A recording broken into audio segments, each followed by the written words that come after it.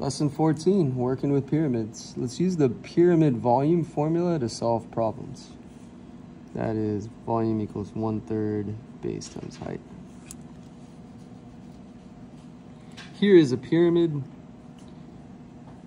Which of these solids has the same volume as the pyramid? All right, so let's get the volume of this one first one third your base right here is 5 times 4, which equals 20. So one third 20 times your height is 6. So one third 20 times 6 is 120. One third of that is 40. So volume equals 40 uh, cubic units. All right. So we got to figure out which of these solids has the same has 40 for a volume. So the volume of this, this is a, a rectangular prism, is just length times width times height. So this one is uh, 5 times 4 times 2, which is 20 times 2. So this one's 40 cubic units. So A is the same. Let's look at B. you got a triangle for a base, and it's a pyramid. So this is known as a triangular pyramid. That's the formula for all pyramids. So this one is going to be uh, one third base times height. Now let's look at the base. The base is a triangle, a right triangle.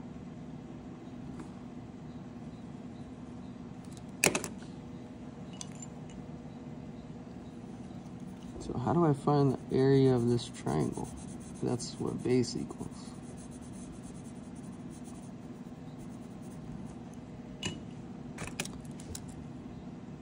The area of triangles is one half little b little h. This is little b this is little h. So one half six times four or one half of 24 which equals 12 so the base here is 12. Then you got to apply that here. So volume equals one third base times height. So one third, our base is 12. Our height is 10. So it's one third, 12 times 10, which is 120. One third of 120 is 40 cubic units. Volume equals 40 cubic units. This one is the same also. Because we're comparing it to this and they asked which has the same volume. So A and B are both 40. So you're going to say A and B are both the same as the uh, original pyramid. All right, four minutes, no big deal. Practice with pyramids. Calculate the volume of each solid. Round your answers to the nearest 10. Okie doke. In all of these, there's an apex. Okay. So apex. Apex. Apex. Apex. This is your hint. If there's a apex, up top. You all come to a point. Then your volume formula is uh, one third base times height or volume equals base height divided by three. So they're all this. So let's chip away at it. Uh, this one, just rewrite it. One third base times height. So one third, what's our base? Well, it's a two by two, so that's four. So base equals four. And then your height is six. So it's one third of 24. That'll be eight feet to the third power. This one. Volume equals, let's try this one. BH over 3. Base is a circle. So a base is pi r squared. So pi, what's our radius? It's 2 squared. So 4 pi equals your base. Height is 4.2. So volume equals BH 4 pi times 4.2 divided by 3. Round your answers to the nearest tenth. So you get this trusty calculator, which almost never fails. 4 times pi times 4.2 divided by 3 17 and they it's 5 9 they want nearest tenth centimeters to the third power. What's this called all right this one. Base height over 3 so remember uh, the base is a triangle, a right triangle, so it's just so your base, the area of the base is one half little b little h. So little b little h. So one half four times three. One half of twelve. Six is your base. Height is seven. So your volume formula right here. Volume equals base height over three. That'll equal six times seven divided by three. 42 divided by three. That equals 14 km cubed. That's for this one. So this one's 14 km cubed. 17.6 centimeters cubed. This one is 8 feet, cubic feet. Last but not least, base, they tell you is 32. Height is 12. So you're just going to say volume equals base height over 3. So 32 times 12 divided by 3 which equals uh, 32 times 12 is 384 divided by 3. So the volume equals 128 centimeters cubed. So this one's 128 cm to the third power. All right. A particular cone has radius r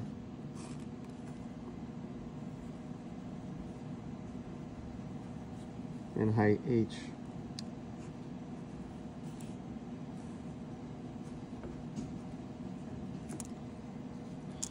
Write an expression for the volume of this cone in terms of R and H. Well, you could say V equals BH over 3. However, they want it in terms of R and H. So you're just going to change this. Base is a circle. So you're going to say V equals base pi r squared times height divided by 3. What is the height of a cone whose volume is 16 pi and whose radius is 3? You're going to use this. So volume is 16 pi, that's V. So you're going to say 16 pi equals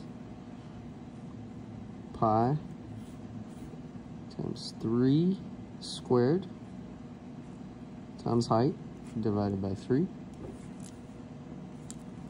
You can just multiply that by 3. That'll get rid of this.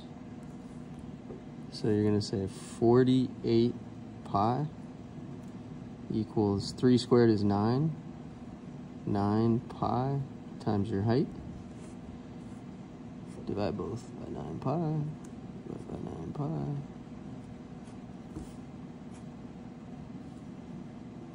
pi. h equals 48 divided by 9. Let's take a 3 out. So 16 thirds. That's your height. Or in other words, 5.333333.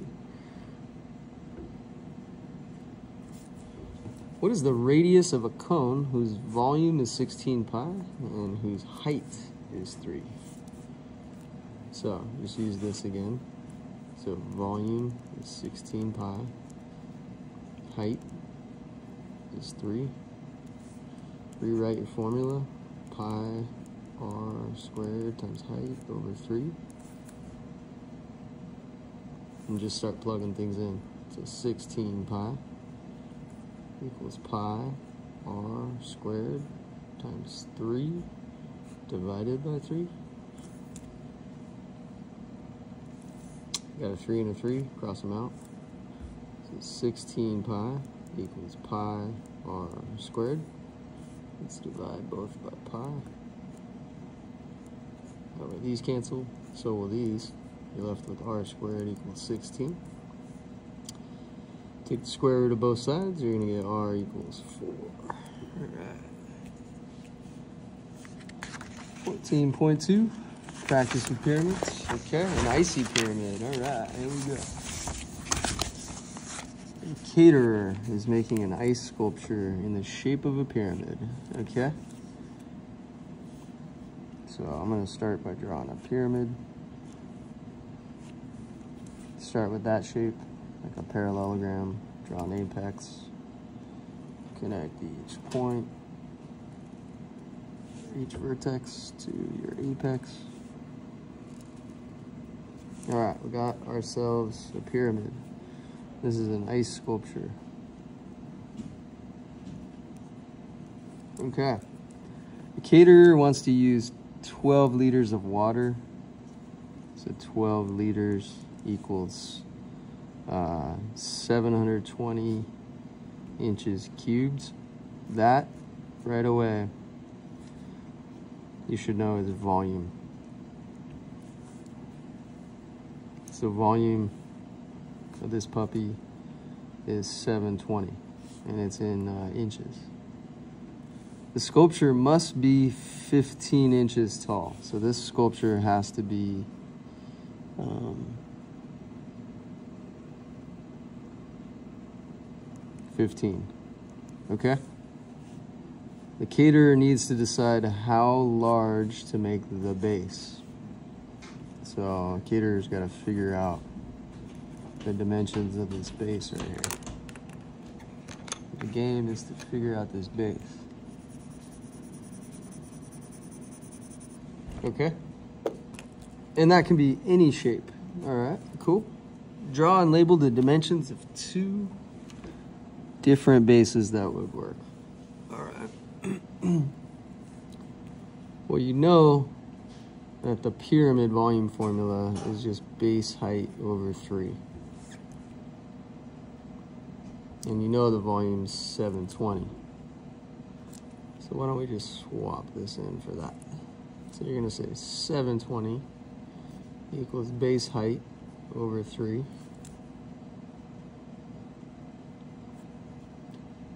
Um, 3 times 720 is 2160 equals base times height. Now let's figure out what we know. Well, we know that the height has to be 15, so 2160 equals base times 15. Divide both by 15.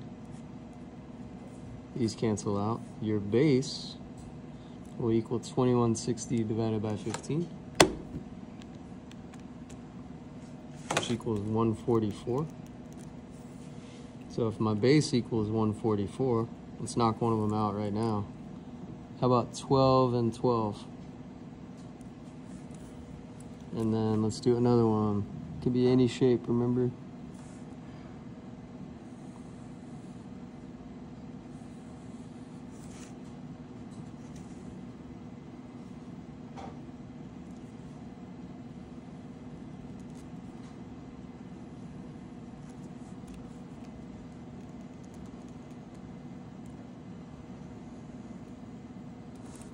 About 72 and 2?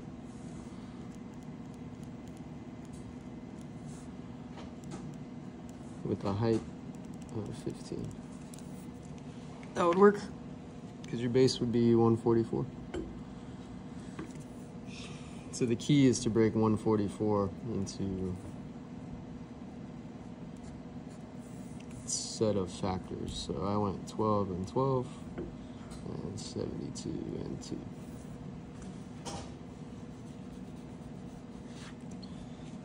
All right, ice pyramid's done, and lesson 14's done. So the key one is we can work backward from a given volume to find possible dimensions for a cone or a pyramid. Sweet.